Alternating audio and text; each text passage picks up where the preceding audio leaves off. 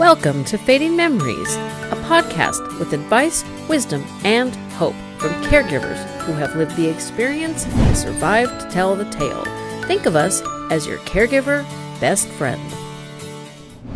Thanks for joining us again, Fading Memories listeners. I so appreciate that you choose our podcast for your listening pleasure. With me today is David Bernstein. I almost butchered it, caught myself. And we are going to be talking about driving dilemmas and what we might be able to do to help our senior population be safer behind the wheel or maybe give up the car keys. So, thank you very much, David, for joining me today. It's my pleasure to be with you today, Jennifer. Thank you for inviting me to talk about what is a subject that's near and dear to my heart and one that needs to be discussed. Definitely. And so, why don't you give us your background because it's very interesting? I grew up on Long Island in New York. At an early age, decided I wanted to be a doctor, maybe influenced by my immigrant father, World War II wounded veteran, and my mother, who they loved their doctor.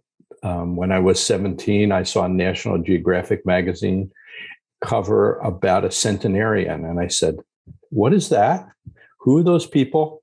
I want to do that when I get older. So went to medical school and became a geriatrician. Somewhere in there, also, I met a man who graduated from my high school 10 years before me who was an author. I followed his career and I said, I want to do that too so that's how I went through my career uh, as a geriatrician for 40 years. Um, I was always collecting stories in my head about things and people. And um, when I had time, starting about 10, 15 years ago, I started putting them together and um, um came up with the first of my four books. It, it's interesting because we're talking about driving today um, the initial title of my book was going to be the response I got from my patients when I challenged them about their driving. And so, in my sense of humor, it would be, quote, but doctor, I'm a good driver, end quote, because that's what my challenged patients would say and I would hear it over and over again, and I would cringe if I looked in the parking lot at their car or watched them drive or watched. I, I always watched them walk. I if I even gave it some thought about what medicines they were on, I I just get crazed. But um, I, it, it was a subject that came up often enough. I thought it was it addressed some of the unmet needs in the community addressing driving, which was all about me because I always wanted to address unmet needs. That's why being a geriatrician, um, there aren't enough geriatricians in this country. And I wanted to do something that was for an underserved um, population.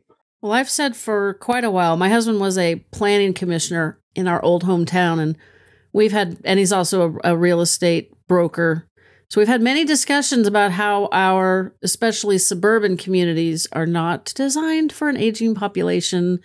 And we're going to be in very big trouble if we don't figure out how to fix some of these things. Like I'm from California and I could walk to the grocery store, but I wouldn't want to carry all the groceries home or I guess I could put them in a wagon, but you know, I don't, I'm 55. I don't want to do that now. I certainly don't want to do it at 75, you know, so, but I have to take my card. It's like less than two miles. I think it's about a mile and a quarter.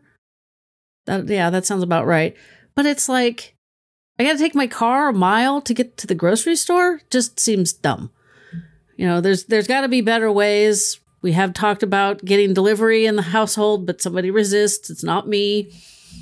You know, just we definitely don't have the infrastructure for people not to drive. So there's our first problem, which obviously a geriatrician can't fix. But what did you come up with as what?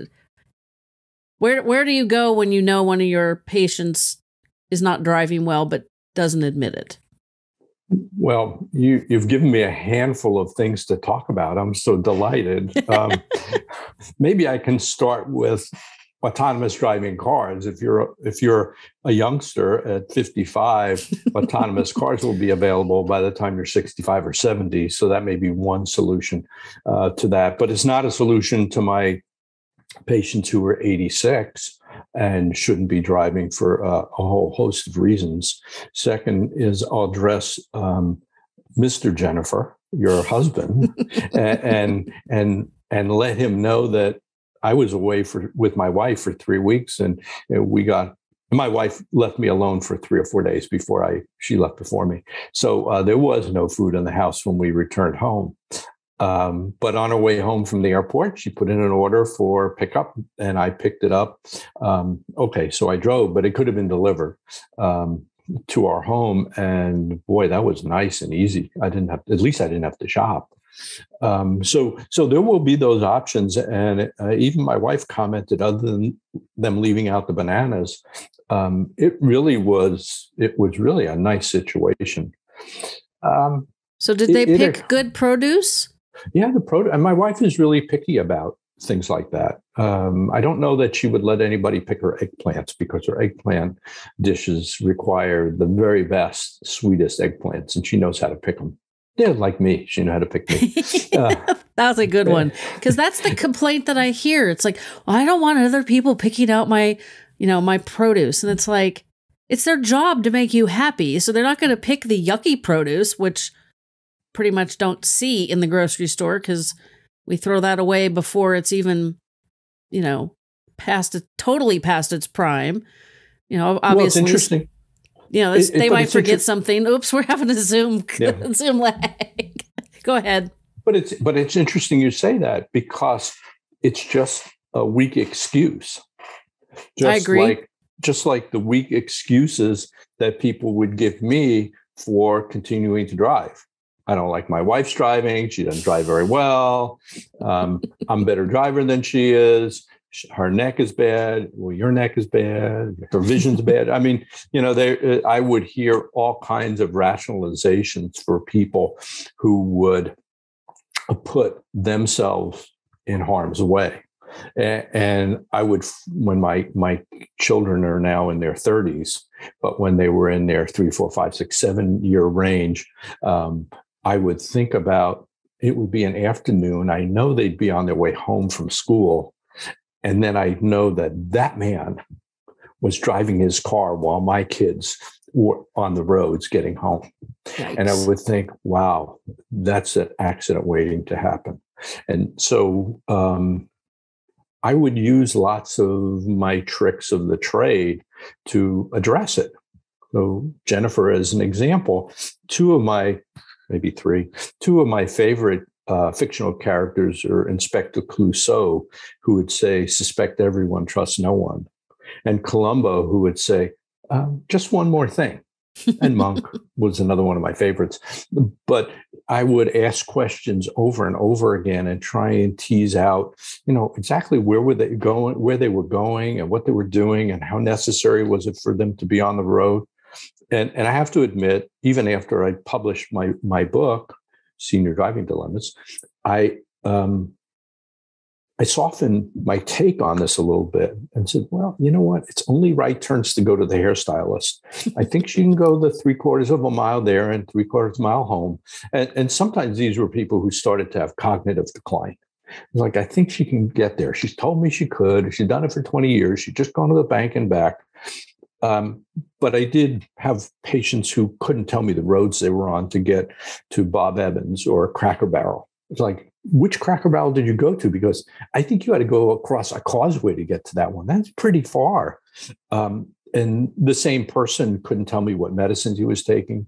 And he would he would give me a piece of paper like this big and note. you know, like two by two inch piece of paper with his his medications listed on there in um, in 2010, and I'd say, but it says 2008. I've changed your medicine since then. Like, what medicine are you taking? I said, I, I, am calling in these prescriptions, and I, I I stopped that one a long time ago. Like, they were he and his wife were just so confused the, the two of them. This is one in particular um, uh, that were love, lovely couple. I took care of them for a long period of time but but they were both so confused and they supported one another in in their hijinks because they didn't want their son in north carolina to know what was going on. But their community of friends knew and inspector clouseau interrogated their their community of friends so i knew from that and i would never give away my source of of, of information but i confronted them many occasions and and and it was a frustration. They never did quit. They never did go to another doctor so i did have a chance to take care of them and eventually got the son to move them to north carolina. It was not easy.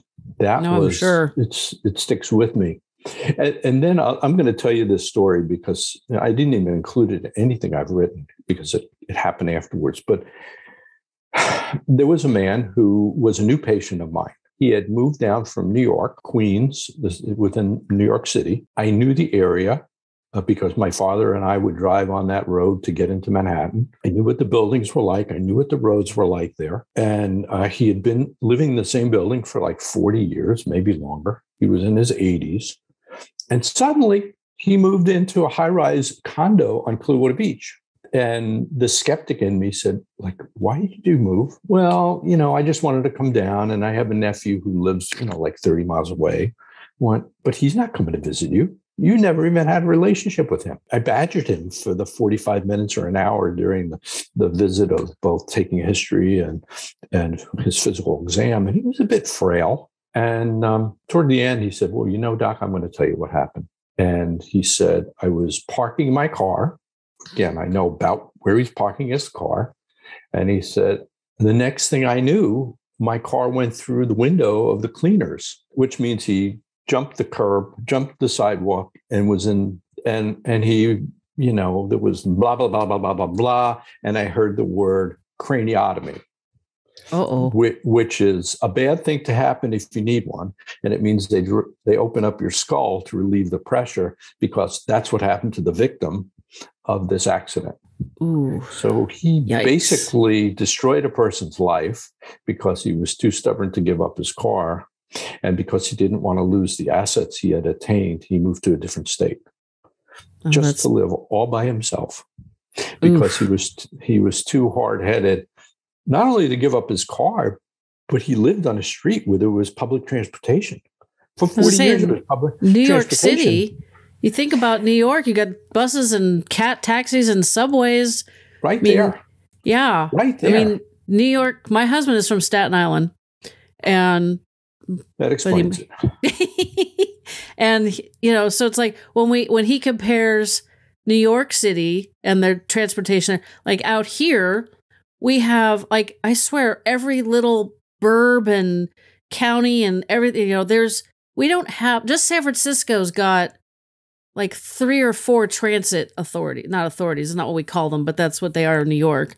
It's just ridiculous, you know, and it's just not. Well, there's more than four. It's yeah, I can't even. I can't even. I'd have to really think about it, but yeah, there's just so many, and then in the last decade, they've started to like merge op not operations, but like you can buy one transit card that works on all four or five or whatever there is. That wasn't the way before. And that's in San Francisco. God forbid you're out here in the suburbs, take you three hours to get someplace on a bus. So I can't imagine. Oh, this guy must have been. Maybe I'm related to this guy because my family is super stubborn. I just Um, can't these- imagine. these these people. They're they're a stubborn group, and and then there's the family. Oh, this is my favorite line, but they would rather talk about selling a home or funeral plans than talking about taking away the keys. And um, I have my expression that I'd say to the family members is you have to beg, borrow, and steal to get them to give up their their license. And you know, you have to go at it with a plan. You have to have uh, uh, the ability to retreat and then go back in, and and ultimately, you know, get them to relinquish their keys. and you know you could ask as as i offered ask the doctor to participate in the process because i'm sure there are listeners to this program who who have a parent like this and and um, if they just alert a doctor that there's a problem because the doctors generally don't go out and look in the parking lot unless they're interested like me and they don't hear from neighbors so unless they're like me um, then they they don't know. But if you could notify them they can notify the department of motor vehicles and and get an assessment underway. And and that's kind of the tricky stuff that i did. It's you know i established that someone reports them anonymously. It was me they would bring a piece of paper to me to sign. I go, but I don't know how well you drive. Let's have a driver evaluation done. And and I'd send them down to the occupational therapy department at a hospital. And in, in our neighborhood, there's a program that they run called Drive Able. And it's a computerized, validated assessment of how well someone would do on an on-road test and sounds and safer. It's, it, it, it's kind of yeah. Well, I I did have I did include in my first book the entire driver evaluation that was done on road, and it was scary, funny but scary. uh, but they there's a validated test, and I and I'd make an agreement with my patients. They never accepted after the fact, but I'd say if you don't pass, then you'll give up your driving. Oh yes, doctor, sure and and this validated test i mean you know you put an 86 year old person on a computer um, they're not going to do well but it's where they move their hands and how they manage certain questions that i get responses like a 98% chance they would fail an on-road test and so that was strong enough for me to say, uh, uh, uh, you're not driving. Let's take this to the next step. Your wife will drive, or you give up your keys and you move to retirement communities. And and um, th- there were success stories too. Um, I had one of my favorite patients whose name was Jane, and she can I would talk to her um, periodically about giving up her keys, and she said, "I decided to do it, Doc. I'm moving to this retirement community I don't need to be there. It's going to be like a place for me to store my clothes, but I'm going to go to my Sweet Adelines and, and I'm going to do my clubs and all that. And I'm going to take Ubers wherever I want to go. And so she gave up her keys. Another lady, there were three in, in this. I did a TV interview. Um, and one was a woman who said, I'd stop driving when I'm 95. I promise you, doc. well, she she didn't give it up till 98 but oh dear. She, she, did and she didn't have she didn't have an accident. I got invited. I sat next to her at her 100th birthday party. So um, she didn't hate me for t- getting her to stop driving. I think she liked it. And the other person in that in that news um, interview was my mother-in-law who uh, had an abrupt discontinuation of her driving privileges when she got in an accident. Mm. told her car didn't have money for another car and she wasn't going to get another car it was a fourth accident. She blamed the Oof. other person, and nobody got. She she had a fractured pelvis. Um, that was 12 or 15 years ago at age 97 she's still alive and and driving us crazy but um, we got her off the road by hook or by crook and then so there are a lot of different ways in which people can do it i, I think for uh, um, are your parents still with you no, my mom passed away from Alzheimer's in March 2020, and my dad had renal failure in March of 2017. March not such not such a great month. well, my birthday month, but I understand. Uh, there you so, go. That's you know, a good, you, good you, thing. You, you you begin the conversation early.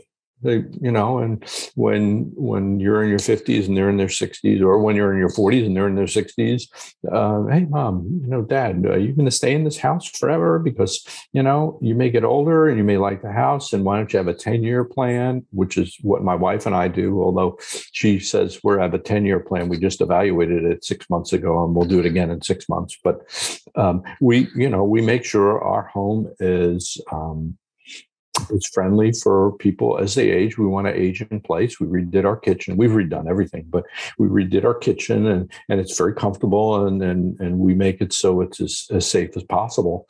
But, you know, make sure that there's a thought process going on here, mom and dad. You don't live close enough to a grocery store. This is, this is just not going to work. And, you know, let's spend the next two, three, four years uh, evaluating retirement communities where you can get your food and you don't have to drive. And sooner or later you give up your keys and it could be done in a more peaceful way rather than getting someone who's very stuck in their ways and they have dementia and they don't trust anybody. And um, and then it becomes impossible. And then you know you're resentful as a child um, that you've had to do something so onerous and you know you probably went through that jennifer yourself. I did a little bit with my dad. So like September 2016, he'd had an eye surgery for which I'm not entirely certain what they were doing. And so he couldn't drive for a while, and he, they lived 20 miles away from me. So it wasn't practical to help them whatsoever. Thankfully, my dad was a Rotarian, so he had a lot of friends. He also volunteered with the Salvation Army. So there were a lot of people that could, you know, schlep them around. And it was temporary, so that wasn't too, you know, hard to deal with. Well, their doctors were literally down the hill from my house, like two miles, if that. And he came, they, you know, after their doctor's appointment, you know, we were going to go out to lunch, and he's literally driving out of my neighborhood down the middle of the street in this. Thank God we were in the neighborhood. I'm like, let's go to this particular restaurant that happened to be on the edge of the neighborhood, just also on the main road, but I didn't have to get him on the main road. I was terrified and I thought, you know, what in the hell am I going to do? Like their doctors are over here and maybe he's just recuperating from the surgery. I mean, it was like I had 5,000 thoughts going through my head, but it was like one of the major ones was I'm never getting in the car with him again. That was terrifying. You know, I like roller coasters, but I was not, I was not really feeling good that day. You know, and he was taking care of my mom. Well, so that was September of 2016, maybe October. The mm, end of November, he ended up in the hospital, and then he ended up home on hospice. So I I didn't have to pull any triggers. he did come home from the hospital, and we had moved his car because he um he needed to go back on dialysis, and he didn't want to, which was fine. I knew that. I accepted that. He just hadn't told anybody that we were at that stage, so that was a problem so the toxins from the failing transplanted kidney was it basically caused his caused him to have memory loss. Now I've looked back and I realized that there was some serious warning signs before that happened, but of course, you know, hindsight is 2020. So there was a brief moment when he knew he had a gap in his memory and he was really adamant that he wanted to prove that he could still drive well. I'm like, and that is why your car is in front of my house 20 miles away. I'm not even giving you the opportunity to prove you can still drive. Yikes, that was scary. And then it was only a matter of days before he didn't even remember that he was having memory issues. So I didn't have to deal with that. But so I, I dodged most of those bullets. But we did have my husband and I are also Rotarians, and there was a gentleman in our club who really, really needed to stop driving, and we ended up like behind him on a not really a side road, but not a main road, and he's driving with the wheels on the, on the edge and he's driving really slow. And of course, this is California. You know, the speed limit signs are not a limit, it's just a sort of suggestion as to where to start. yeah. I'm not saying I drive that way, but. you know, it's and it's to, so much worse post pandemic too. People are just insane. They drive like they're flying a rocket, which is a good way to maybe convince your older family members they probably don't want to get up on the road because blame it on the crazy people. But yeah, he was all over the road and it, and my husband knew his his children and so we called them and said you know yeah dad's having some serious problems you might want to deal with it i don't know what they did if they did anything. Um, he finally did total the car. That so it was kind of like the gal that you were talking about didn't didn't have an option. So but it, it's really scary because you're like we need to do something about this but what can we do? So that's why we're having this conversation. So you talked about easing into it, but what what should we attempt to do if we can't ease into it? You know, it's like all of a sudden we realize that you know, the dents on mom's car are because she's hitting things, not because people are hitting her. Now we're going to take a quick break for an ad. These ads help me continue to bring the show to you for free. When I learned that despite eating as healthy as possible, we can still have undernourished brains, I was frustrated. I also live in a farming community, so I'm aware that our food isn't grown as well as we need. Learning about NeuroReserve's Relevate and how it's formulated to fix this problem convinced me to give them a try. Now, I know many of you are skeptical, as was I. However, I know it's working because of one simple change my sweet tooth is gone. I didn't expect that, and it's not something other users have commented on, but here's some truth. My brain always wanted something sweet. Now, fruit usually did the trick, but not always. One bad night's sleep would fire up my sugar cravings so much they were almost impossible to ignore. You ever have your brain screaming for a donut? Well, for me, those days are gone. It's been about six months since I started taking the supplement, and I have no regrets. I believe in my results so much that I'm passing on my 15% discount to you. Try it for two or three months and see if you have a miraculous sweet tooth cure or maybe just better focus and clarity. It's definitely worth a try. Now back to our conversation.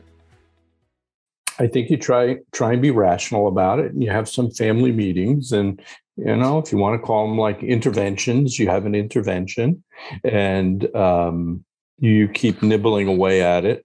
Hopefully, you've developed good rapport with your um, your your loved one, and um, you can explain to them some of the things. Um, sometimes they're just they get as my mother would say as people get older they become more what they were. If they were stubborn they become more stubborn. Oh boy um, i'm in trouble. and, and, yeah sorry but truth. Um, the, the the one thing that um, that one patient responded to was the financial aspect of it. The one who moved to retirement community, her son, who is also a patient, and I took care of her husband when he was alive, um, made a rational decision. It was well, the the carrying costs of a car are a thousand dollars a month whether you lease it or whether you made payments. I mean, you could lie about it, but it's about a thousand dollars. And gasoline prices, well, in California, you know what that is, and insurance for an 80-something year old, and that's expensive too. And before you know it, you say, well, this is what you're spending a month. And if you move in retirement community and they provide transportation, you don't have that. Or if we just help you with Ubers and Lyfts, and work on some carpool arrangements, this is going to be a much safer situation. And and, and lastly, um, you know, in in your um, podcast about fading memories, um, and for me being a geriatrician and what i read is there's going to be a tremendous um, exchange of wealth over the next 20 or 30 years as people baby boomers die and and and they their children inherit their assets. And so you can go at it from you know you're going to lose those assets. And i know you promised those assets to me or your grandchildren and you're going to blow them because you're going to end up in a hospital, a nursing home, and you're going to have to pay for it. And you may get sued because you shouldn't have been driving and it was at night, and and you know whatever. You know the the fact is that as people get older, the number of accidents per mile goes up, and fatality rates go up after 75. Even though older people wear seatbelts and they have take more care. They just don't have the skills to drive. And so it's using any one of a whole bunch of things to get through. It's the financial one, it's the medical one, relying on a doctor or occupational therapist to, to do an evaluation. Look, you know, you can even ask a pharmacist. Um, is it safe for dad to drive? He's you know, I, I I know when I look back at some of my patients who were driving and they were on fentanyl patches and hydrocodone, and um, one of the really bad things that older adults do is they they take something to help them sleep, like Benadryl. Well, Benadryl has a really negative effect on your memory. It has the opposite effect of mem- medicines that would enhance your memory and it makes you sedated and it has a hangover period and you know mix that with a little bit of xanax at night because you got a little and you had a bad day and you go out to the grocery store in the morning and not only do you have a fender bender but then you don't even know where you are because you know things are all tensed up so it's you know you might my point about that was in, involve a, a, pharmacist to look at medications and say, you know, these medicines are really important for you, but maybe based on this, and you keep taking these, but you can't drive anymore. And we don't want you to go off these pills you might have to make up a little bit of a story but you know there's there's a team approach to doing all this and then there's you know the four letter word of love mom dad we love you and and and this is but you know mom dad we love you and, and, we we you want to see your grandson graduate from high school or college and it's just two years away and you know we're concerned that you'll be injured in a car or you're we're concerned that you might be driving in a in a parking lot and hit one of their friends who's you know out on the curb you know going in to get their haircut or going into the grocery store and and just think about how how awful that would be for you to spend the rest of your life uh, regretting this decision that that could have been avoided. So um, that's kind of my approach to that. That's my beg, borrow, and steal. Do everything. And, and by the, and by the way, I, I want to comment on you. You said your husband volunteers for the Salvation Army. That was my um, dad, um, but oh, your dad. Um, they're my best patients the retired Salvation Army officers were my dream come true. They did, except for the guy who continued to drive. Um, but but they all loved one another in their community. These were the retired officers um, that they would support one another and talk about these two people who were still driving and that they shouldn't and I should do something about it. You know, so I had my informants that's what you know a good detective does they have their informants so um, that's the, the, the key to that.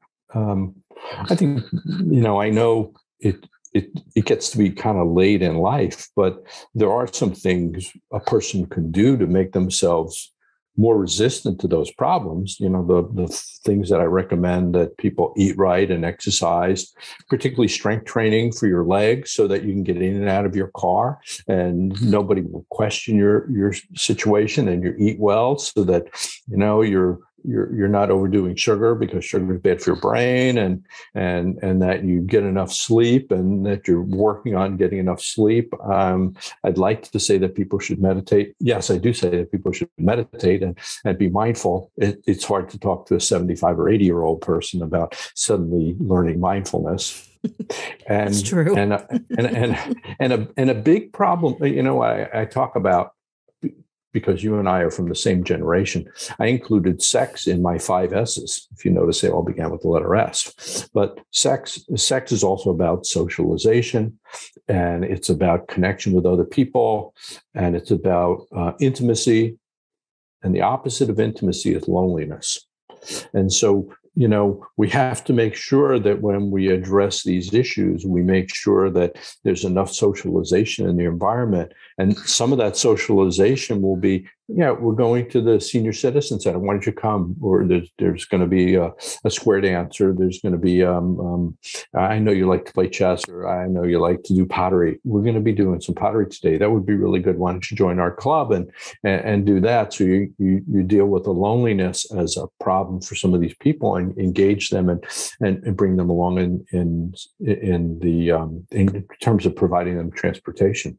So that's just a, a, whole bunch of different things that people can try. But as you recognize, dealing with a person who gets very set in their ways later in life. And so addressing it early and having that discussion, you know, even for you and your husband to have the discussion tonight and say, you know what, we're we're in our 50s, but this is going to happen. You know, let's uh, have a pact between us that we're going to respond uh, to people in a favorable way when they tell us that we shouldn't be driving, or we're going to move into an environment or plan to move into an environment that's going to be conducive to that. Well, we kind of well, we've had those conversations because when we were in the market for this house that we moved into the end of 2021 like the last couple years they all blended together because they were so exciting. You know we we even though he's a real estate broker we used a broker because we were two hours from our old hometown. And he my husband said this is our last house until we die or have to move into assisted living. And i was like yay! I've at least convinced one person the most important person in my life. Because i i tell people like you get to be 85 you're retired, right? So why you've worked hard all your life, you've raised family maybe, you've taken care of yourself and your home and you know, that's a lot of work. So why would you want to do the cooking, the cleaning or and you know, manage maybe housekeeping staff, not staff, but I'm like I'm not that rich. Um, you know, housekeeping company, a landscaping company and you know, take the trash out to the curb cuz you know, my husband was gone for, you know, a week before I flew in and met him. And it was like, there's a lot of stupid, nitpicky stuff that you got to remember to take care of because somebody else is taking care of it. It's like, why? Why would you want to do that? You, why don't you want to just go someplace where all that stuff is taken care of? Somebody's doing the cooking, they're planning activities, and you can just decide when you get up what you feel like doing. Like to me, that sounds great. You know, I'm not quite ready for it yet, but the community we moved into, originally was a very large vacation rental home community. And then for a while, it was a retirement community. And now it's just like a typical neighborhood, but we're on a lake and a golf course, and there's lots of activities. Uh, their communication about that is a little outdated, but that's, you know, we, we figured out how to work around that a little bit. But there's like people close by that we're, you know, we're getting to know and, and kind of take care of each other. So we've kind of done that. And I know I have um, lazy eye. And so my brain thinks that I see double. So it only processes the vision one eye at a time. So I have, I could connect to my mom's visual impairment, you know, visual processing issues well because I have similar ones. And I know it's like, I don't like to drive at night because it's very difficult for me to like suss out what what what I'm looking at until I'm kind of close to it. And I know, I know I'm to have to give up driving a lot sooner than a lot of people because my eyesight's just wacky. You know, it's and it's just a fact of life and unfortunately because I work from home and then you know we spent 2 years pretty much not doing anything, it's like I got to get back I have to like reinvigorate my driving muscle because I don't drive very much because I don't need to. so I either have to reinvigorate it or I have to let hubby do it all and not quite ready to let him do it all. So, but in in all of these conversations I've had with people, I've never heard of using the financial risks or and costs as a way of of like one tool to help pry the car keys out of people's hands or you know the um, or using the pharmacist like you would have thought I would have heard about that by now. It's always either contact the DMV or get the doctor to write a note. That's pretty much or, you know, pull the um the battery plug or there's yeah. some other part I'm like having a brain fade on the other piece. Cap. That's it. One of those yeah. and there's some other cables you can yeah. pull out plugs. Um whatever, doesn't matter. But you know, there's basically disable the car you know, I've heard of all those things, but I like your approach better because those are a little bit drastic, you know. My and my mom in in moderate late to late Alzheimer's remembered that my dad gave her car to my brother-in-law and she was still mad about it.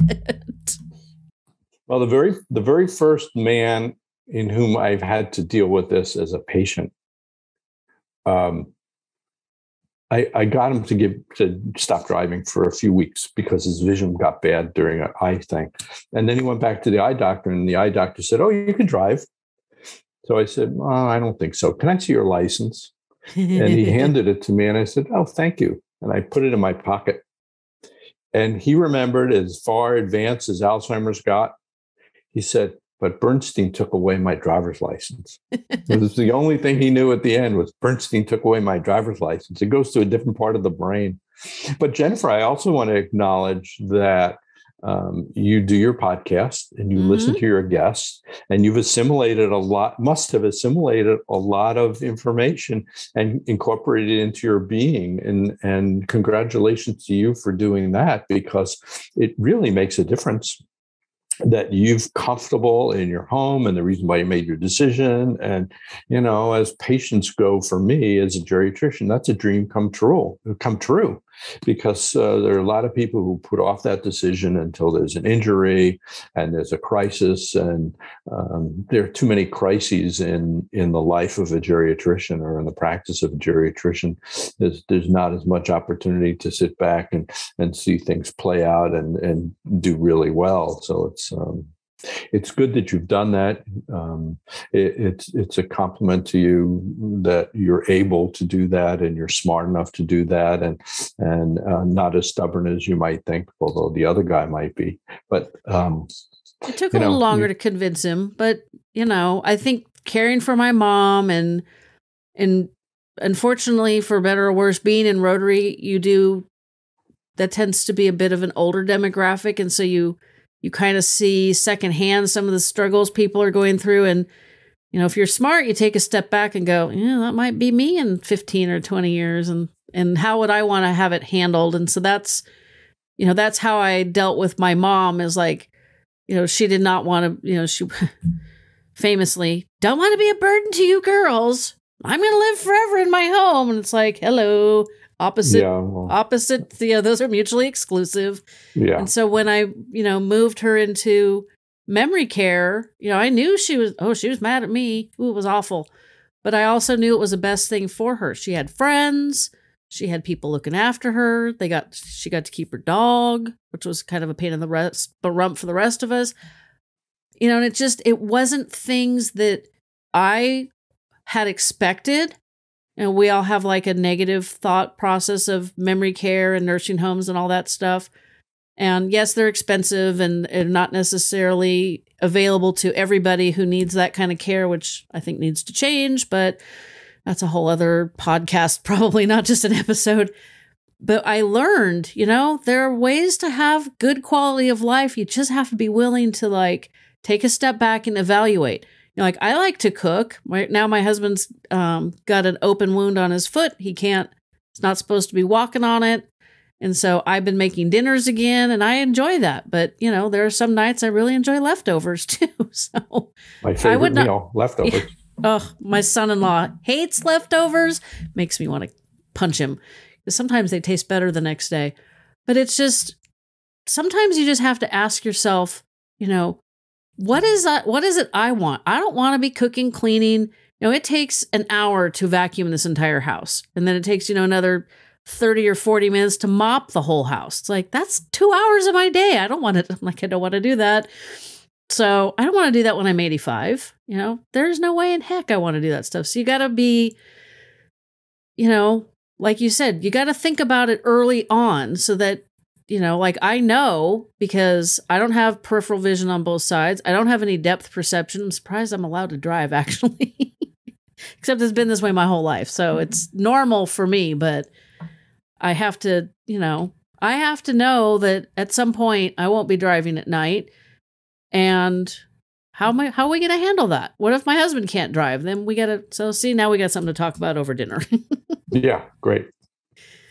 So, where can people find this wonderful book? Because it's something we, I'm sure we all need to read.